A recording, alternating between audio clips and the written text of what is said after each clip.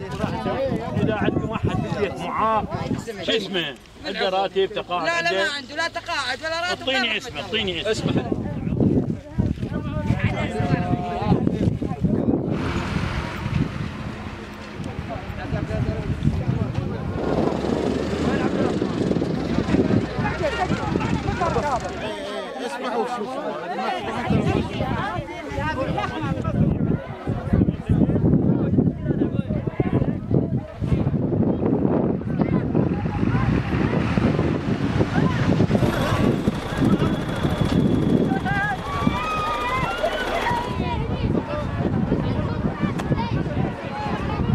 حاليا نحن في موقع التمر الصحي في محافظة آه، الموصل. هناك فريق مشترك مع قسم الحماية الاجتماعية في نينوى. سيتم تسجيل بيانات الخاصة بموقع التمر الصحي بأعداد كبيرة لشمولهم بالحماية الاجتماعية. وأيضا سيتم شمولهم ضمن هيئة ذوي الإعاقة ونطالب دولة رئيس الوزراء ونطالب ال- أعضاء البرلمان بزيادة التخصيصات المالية. هناك حجبت عن وزارة العمل 500 مليار كان مخصص له 3 تريليون و500 مليار لشمول 400 ألف أسرة. ولكن للأسف رئيس اللجنة ال- المالية هيثم الجبوري آه، حذف 500 مليار من هذه التخصيصات. سيحرم آه، 400 ألف عائلة لشمولهم بالحماية الاجتماعية.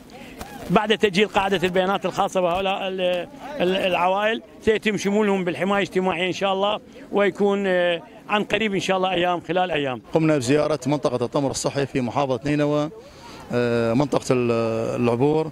وإن شاء الله سيتم شمول العوائل التي تقتات على النفايات من هذا التمر لأن هدف هيئة الحماية الاجتماعية هو إيصال آه، مظلة الحماية الاجتماعية إلى العوائل المستحقة. يابا مشكلتنا إحنا هاني عيشتنا على الوصايخ أنا عندي تسع جهال. زلمتي ضرير قدمت خمس معاملات ترجع علي. عبن ما عندي واسطة عبن ما عندي أحد يمشي بيها.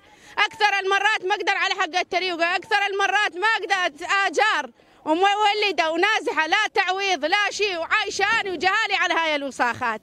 وشوف الدنيا حارة وش أروح وأجي من العبور مشي الله بدالك أطفالك وين؟ والله اطفالي صغار يظلون بالبيت وأنا أجيب هذولا هذا واحد منهم. هذا هذا هذا من هذولا هذا. إيه ما يصير. إيه ما يصير.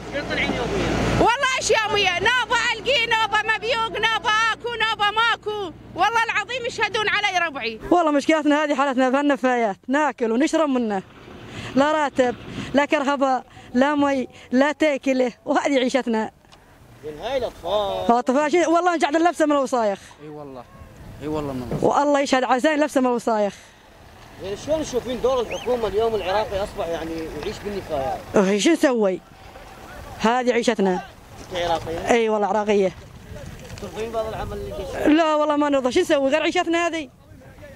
هذه عيشتنا. رسالة للحكومة. يريد راتب يريد مي يريد كرهباء يريد تيكلات يريد ملابس الاطفال جاء العيد الحين؟ لا والله ما عندنا رواتب.